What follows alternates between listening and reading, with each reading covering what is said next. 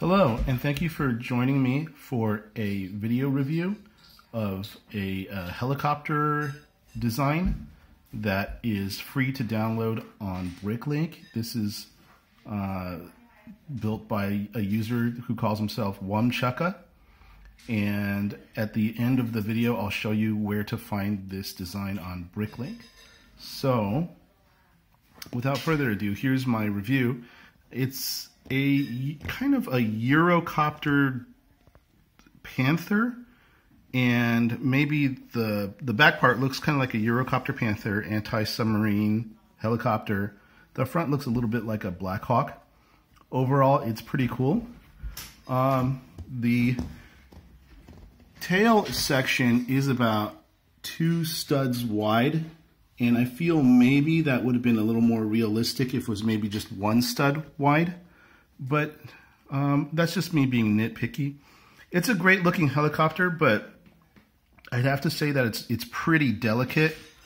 The rotors will spin, but uh, this this helicopter can break apart pretty easily um, if it's mishandled. So it's mostly a display model.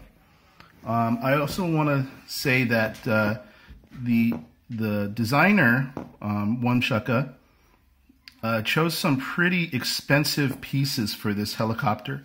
So even though I was able to uh, find about 50% of the parts and um, I still and, and order the rest off Bricklink, it's still um,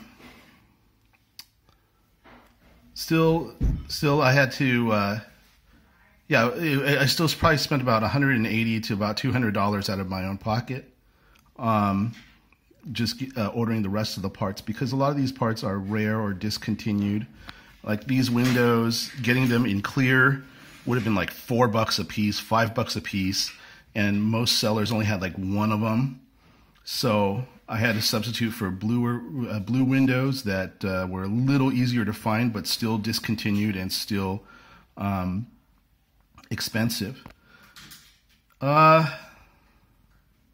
some design things, um, I had to add this, this little piece in here. If you download the design, you're going to have to add this in here because I tried to build it without adding this piece in here. And basically what it is, is made up of um, a 4x4 piece and a 1x4 piece. And I built it originally according to design. And, and um, when I try to do it without putting a piece like that in the tail section, um, it literally exploded in my hand because it was so fragile. So this is for added stability.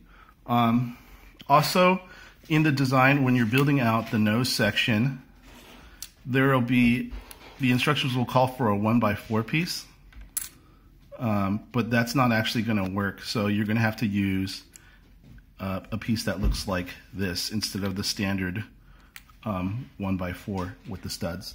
Um, on the bottom of the helicopter, and I wish I could show you this, um, the design will ask you to use like a 1 by 10 with a 1 by 2 to form out part of the bottom. And it'll ask you to do this twice, kind of like side by side each other.